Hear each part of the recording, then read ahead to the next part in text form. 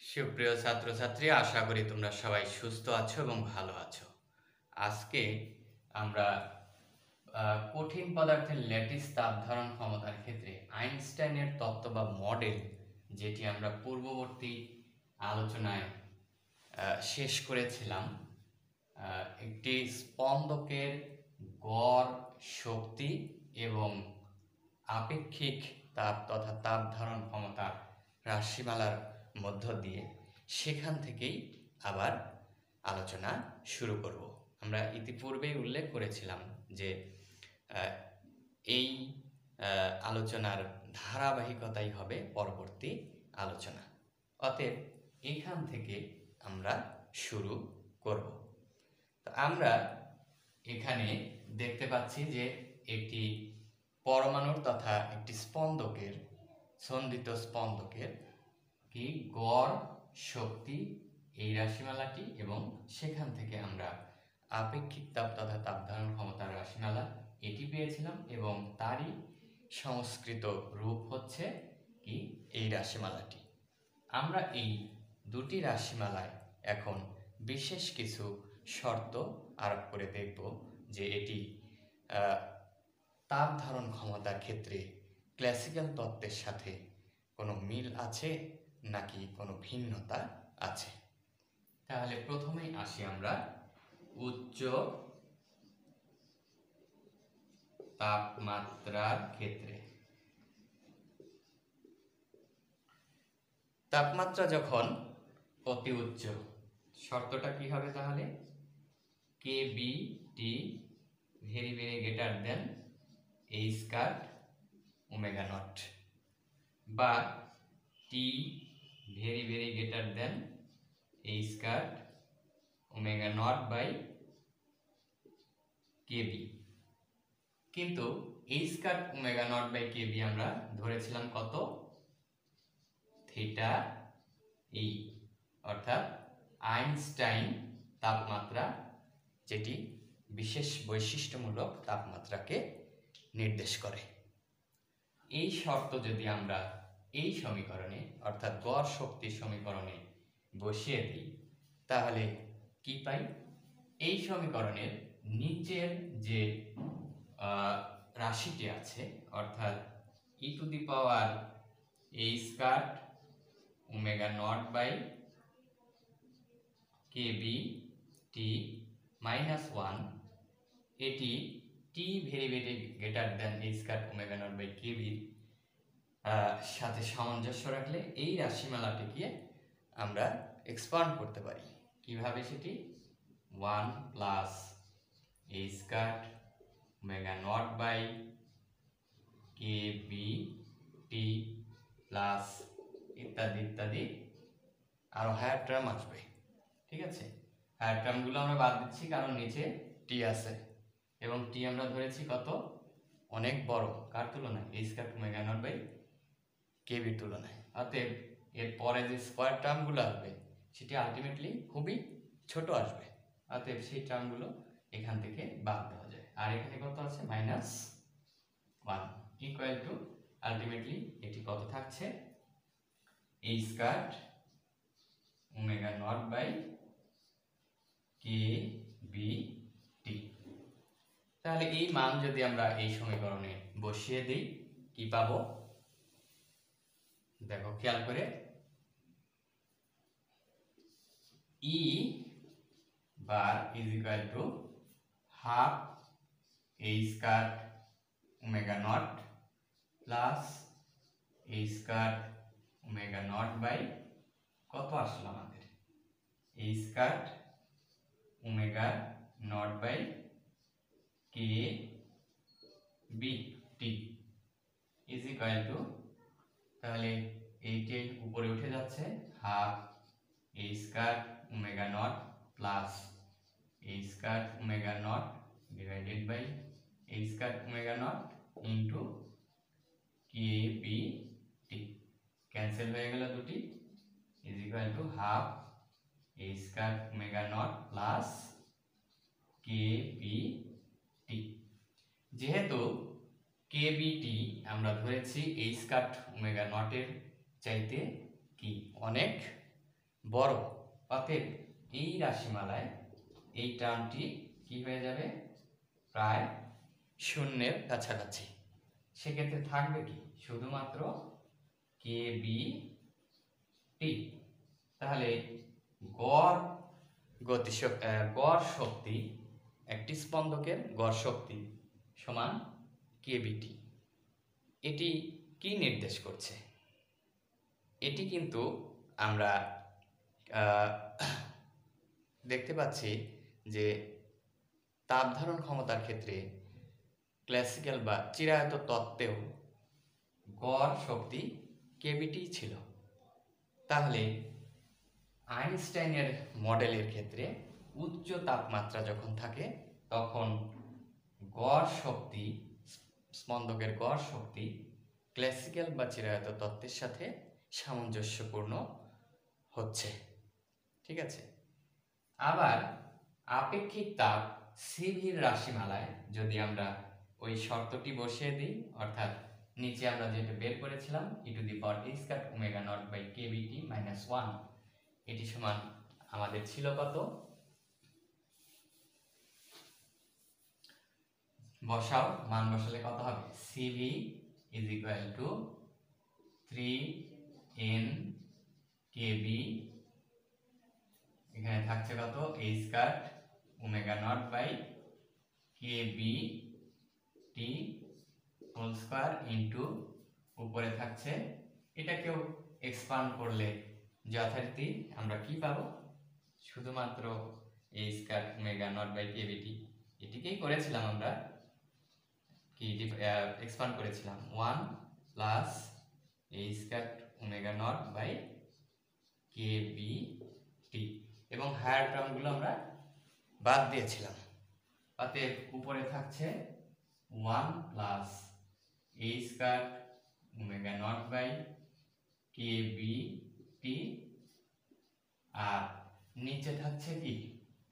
নিচে থাকছে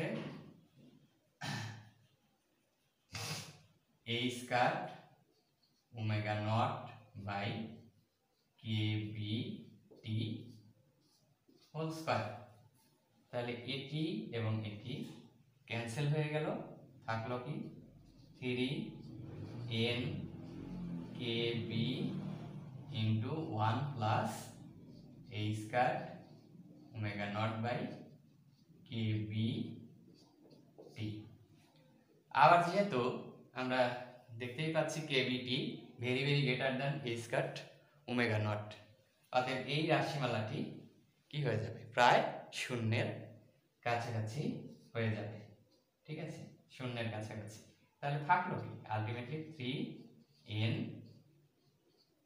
কেবি এখন এটিকে যদি আমরা, অর্থাৎ এই আপেক্ষিক তাপকে যদি আমরা মোলার আপেক্ষিক তাপ হিসেবে বিবেচনা করি, তাহলে কি পাচ্ছি? CV is equal to molar অবশ্যই সেটি কি? মোলার আমি এম দ্বারা রিপ্রেজেন্ট করলাম। তাহলে এন থ্রি এন এন হয়ে যাবে কি? অ্যাভোগাড্রোর সংখ্যা N A K B is equal to কত হচ্ছে? এন এ কে বি সমান সার্বজনীন গ্যাস গ্যাস ধ্রুবক আর তাহলে দেখতে পাচ্ছি যে আপেক্ষিক তাপ সমান হচ্ছে কত? থ্রি আর যার মান আমরা পেয়েছিলাম কত? ফাইভ পয়েন্ট নাইন সিক্স কি five point nine six calorie per mole per kelvin ঠিক আছে? এককটার লিখলাম না।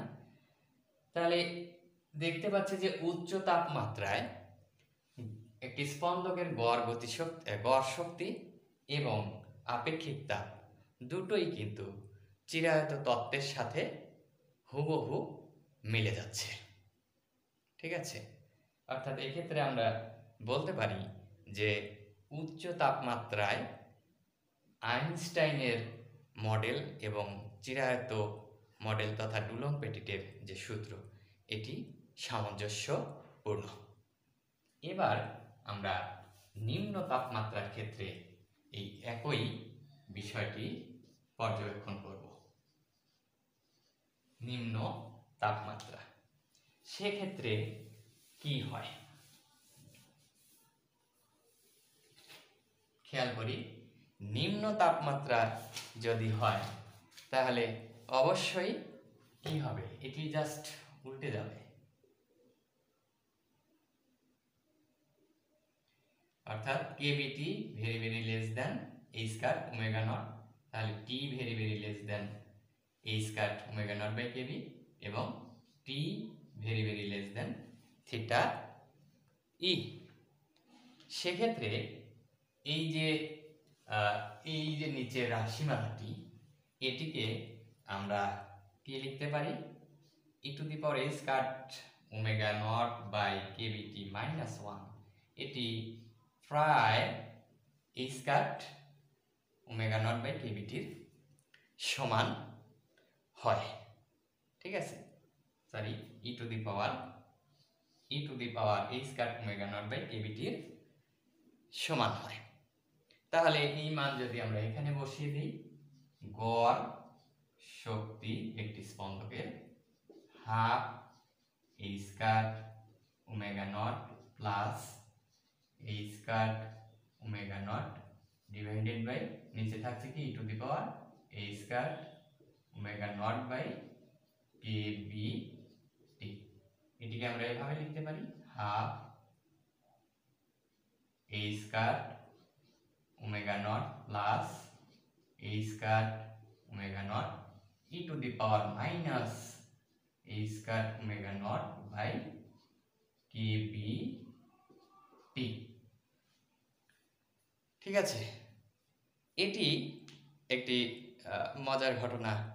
উল্লেখ করছে, সেটি হলো যে একটি স্পন্দকের গড় শক্তি, সেটিকে দেখতে পাচ্ছি যে এক্সপোনেনশিয়ালি কি হচ্ছে, হ্রাস পাচ্ছে। ঠিক আছে? তাপমাত্রা কমার সাথে সাথে, যেহেতু নিম্ন তাপমাত্রায়, তাহলে তাপমাত্রা যত কমিয়ে আস কমানো যাচ্ছে বা কমিয়ে নিয়ে আসছি, সেটি কি করছে? গড় শক্তি সেটিও সূচকীয়ভাবে কমে আসছে। ঠিক আছে? এবং এখান থেকে স্পষ্টত যে তাপমাত্রা যদি zero T is equal to যদি জিরো কেলভিনে নিয়ে আসা যায়, তাহলে স্পষ্টতই এখানে কি হবে?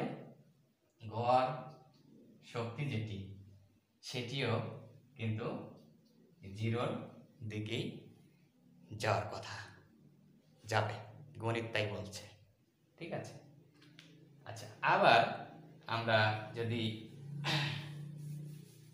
আপেক্ষিক তাপের রাশিমালায় আসি, এটা অথবা এটা যে কোনোটাই আসি CV is equal to three N KB a square omega naught by KB T whole square E to the power a square omega naught by kbt divided by এই মানটুকু আমরা কত পেলাম? E to the power E to the power a square omega naught by K B T এর square হয়ে যাচ্ছে, তাই তো? এর স্কয়ার তাহলে এটি উপরে উঠে গেলে কত থাকবে? Three N KB a square omega naught by KBT whole square আর উপরে উঠে গেলে এটা থাকবে কত? E to the power minus a square omega naught by KB T তাহলে এখান থেকেও আমরা দেখতে পাচ্ছি যে আপেক্ষিক তাপ সেটিও কিন্তু তাপমাত্রা হ্রাসের সাথে সাথে সূচকীয়ভাবে হ্রাস পাবে এবং টি জিরো কেলভিনের জন্য আপেক্ষিক তাপও কি হবে? জিরো হয়ে যাবে। এবং এটি খুব দ্রুততার সাথে তাপমাত্রা যতই হ্রাস করা যায়, খুব দ্রুততার সাথে কি করে? সূচকীয়ভাবে কমতে কমতে শূন্য মানে এসে পড়ে। তা আমরা যদি একটি গ্রাফ আলোচনা করি, তাহলে বিষয়টি আরও ক্লিয়ার হবে। করো। তাহলে নিম্ন তাপমাত্রার ক্ষেত্রে এটি দেখলাম এটাকে in terms of theta E দ্বারাও আমরা প্রকাশ করতে পারি। সেক্ষেত্রে কত হবে? থ্রি এন কেবি ইন্টু আমরা কি ধরেছিলাম? H cut omega by KB সমান theta E by T whole square E to the power minus theta E by T কেমন? তাহলে আমরা একটু এই আলোচনা উচ্চ তাপমাত্রা এবং নিম্ন তাপমাত্রার যে আলোচনাটি আমরা দেখলাম এখানে একটু পার্থক্য লক্ষ্য করা যাচ্ছে।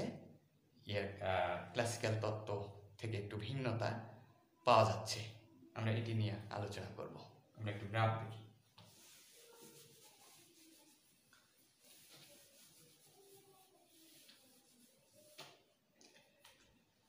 যদি আমরা থিটা ই ইজ টু তেরোশো বিশ কেলভিন, একটি হিরোকের আইনস্টাইন তাপমাত্রা। এই তাপমাত্রায় একটি তাত্ত্বিক সিবি এবং টি বাই থিটা এর যদি গ্রাফ অঙ্কন করা যায় ঠিক এরকম।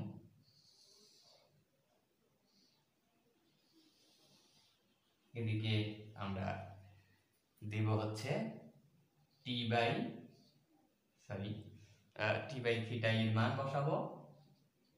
আর এদিকে সিভির মান বসাবো।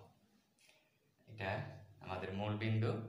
তাহলে এদিকে মান বসাও। One two three four five six আর এইদিকে এই অনুপাতের মান point two point four point six point eight and last one point zero ধরো।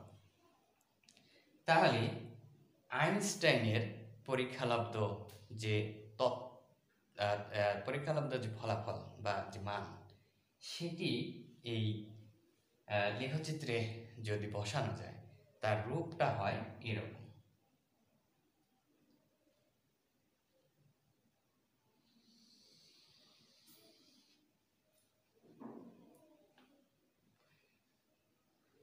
আমাদের সিক্স মান ওভার করবে না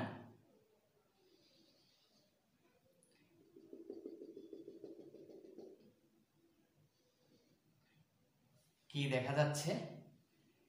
এটি যতই তাপমাত্রা বাড়ছে, ততই একটি নির্দিষ্ট মান প্রাপ্তির দিকে অগ্রসর হচ্ছে। অর্থাৎ উচ্চ তাপমাত্রায় আপেক্ষিক তাপের মান যেটা আমরা কি দেখেছিলাম? থ্রি আর সেই মানটার দিকে যাচ্ছে। আর পাশাপাশি যদি পরীক্ষালব্ধ অর্থাৎ অরিজিনালি কি ঘটনা ঘটে, সেটি বসানো যায়। এটি হচ্ছে আমরা এটাকে বলি আইনস্টাইন রেখচিত্র কার্ভ আর অরিজিনালি পরীক্ষালব্ধ ফলাফল যেটি পাওয়া যায়, তার মান যদি বসানো যায়, তাহলে দেখা যাবে যে উচ্চ তাপমাত্রার ক্ষেত্রে মানগুলো প্রায় সমান, কিন্তু তাপমাত্রা যতই কমে আসছে, মানগুলো ঠিক এত দ্রুত কমে আসছে না। ধীরে ধীরে কমে আসে এবং সেটি একটি বিশেষ নিয়মে। আমরা এখানে দেখেছিলাম হচ্ছে এক্সপোনেনশিয়ালি আসে কি?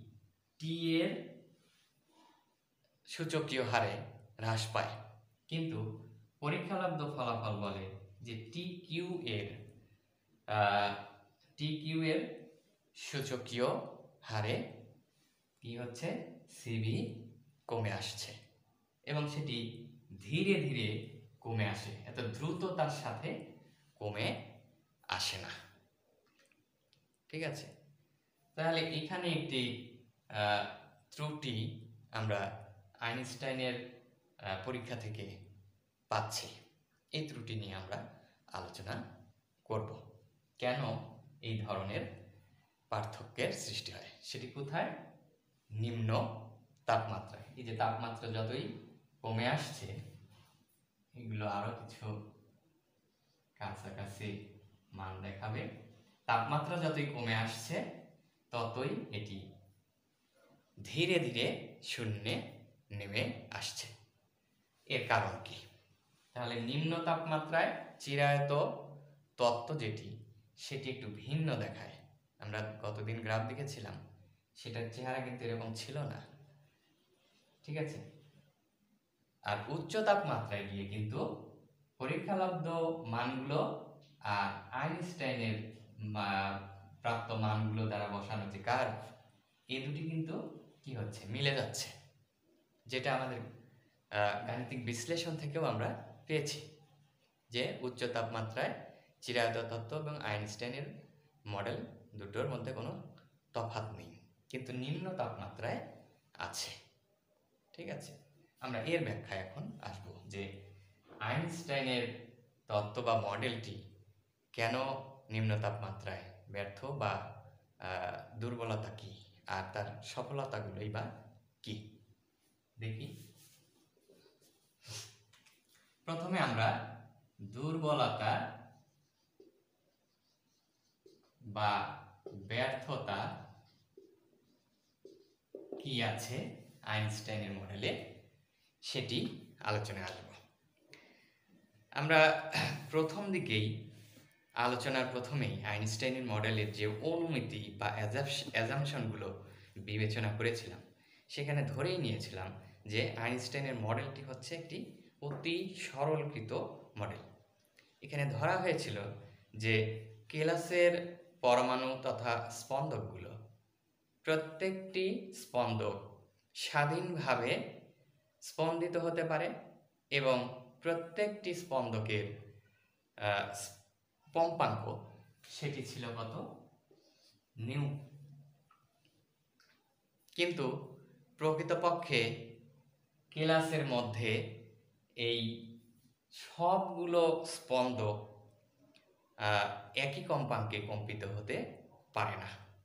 কারণ কি? কারণ হচ্ছে কেলাসের অভ্যন্তরে যে পরমাণুগুলো আছে, তারা কিন্তু আন্তঃআণবিক শক্তির দ্বারা পারস্পরিক মিথস্ক্রিয়ার মাধ্যমে একে অপরের সাথে কি? সংযুক্ত বা সঙ্গবদ্ধ অবস্থায় থাকে। অতএব একটি স্পন্দক তথা একটি পরমাণু যদি স্পন্দিত হয় তাহলে তার স্পন্দন অন্য যে পরমাণুগুলো আছে, তাদেরকেও প্রভাবিত করবে। অতএব আইনস্টাইনের এই অনুমতি অনুমিতি বা অ্যাজামশনে একটি ভুল বা একটি দুর্বলতা আছে। ঠিক আছে? তো আইনস্টাইন মডেল দীর্ঘ তরঙ্গ দৈর্ঘ্য বিশিষ্ট খুব নিম্ন কম্পাঙ্কে, কম্পাঙ্কের যে মোড, সেটি একে অগ্রাহ্য করে। কিন্তু প্রকৃতপক্ষে এই নিম্ন তাপমাত্রাতেও আইনস্টাইন মডেল থেকে প্রাপ্ত সরি নিম্ন তাপমাত্রাতেও বাস্তবে আসলে দেখা যায় যে এই আহ, মোডগুলো থাকে বজায় থাকে বা উপস্থিত থাকে। ফলে এই নিম্ন তাপমাত্রায় আইনস্টাইন মডেল থেকে যে আপেক্ষিক তাপের লেখচিত্র আমরা পেলাম তার সাথে পরীক্ষালব্ধ ফলাফল কি? অনেক ছোট এবং সেটি আমরা বলেছিলাম যে কি মেনে চলে? টি কিউ সূত্র মেনে চলে এবং সেটি অত্যন্ত ধীরে ধীরে সূচকীয়ভাবে শূন্য মানে পৌঁছায়। শূন্য মানে পৌঁছায়, কিন্তু আইনস্টাইন কার্ভে দ্রুত কিন্তু পরীক্ষালব্ধ যেটি দেখায় সেটি আসলে কি? ধীরে ধীরে শূন্য মানে পৌঁছায়। এটি হচ্ছে আইনস্টাইন মডেলের দুর্বলতা বা ব্যর্থতা। কিন্তু যদি সফলতার বিষয়টি আমরা নিয়ে আসি।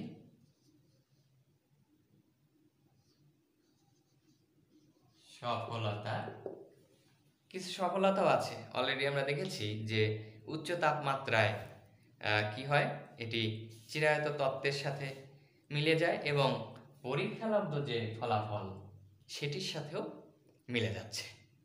ঠিক আছে? তাহলে পরীক্ষালব্ধ ফলাফল এবং আইনস্টাইনের প্রাপ্ত ফলাফল দুটোই উচ্চ তাপমাত্রায় সামঞ্জস্যপূর্ণ। এই দৃষ্টিকোণ থেকে আমরা এই মডেলের সফলতা দেখতে পাচ্ছি। এছাড়া আরেকটি বিষয় এখানে উল্লেখযোগ্য, সেটি হচ্ছে আপেক্ষিক তাপে সরু আলোক ফনন শাখার অবদান মোটামুটি ভালোভাবেই এখান থেকে বর্ণনা করা যায়। অর্থাৎ আইনস্টাইনের মডেল দিয়ে বর্ণনা করা যায়। সেই জন্য আইনস্টাইন মডেলটি এখনও অনেক ক্ষেত্রেই, বিশেষ করে এটির কিন্তু আবার গাণিতিক বিশ্লেষণটাও যথেষ্ট সহজ। ঠিক আছে? সেজন্য অনেক ক্ষেত্রে, বিশেষ করে ক্লাসের এন্ট্রপি কিংবা স্থিতিস্থাপক, ধ্রুবক ইত্যাদি এই বিষয়গুলো যখন গণনা বা হিসাব করা হয়, তখন আইনস্টাইন মডেলকেই প্রাধান্য দেওয়া হয়। এটি ছিল আইনস্টাইন মডেলের কি সফলতা। তো আমরা এই সফলতা, ব্যর্থতা এই দুই আলোচনার মধ্য দিয়েই আজকের আলোচনা শেষ করব। আগামীতে আমরা ডিবাইয়ের সূত্র দেখব এই তাপ ধারণ ক্ষমতার ক্ষেত্রেই। অর্থাৎ আইনস্টাইনের যে দুর্বলতা এখানে দেখা যাচ্ছে, সেটি আবার ডিবাই কীভাবে সংশোধন বা সংশোধন করেছেন সেটি নিয়ে আগামী আলোচনায় আমরা আলোচনা করব। ততক্ষণে তোমরা সবাই ভালো থাকো, সুস্থ থাকো। এই কামনায় আজকের আলোচনা এখানেই শেষ করছি।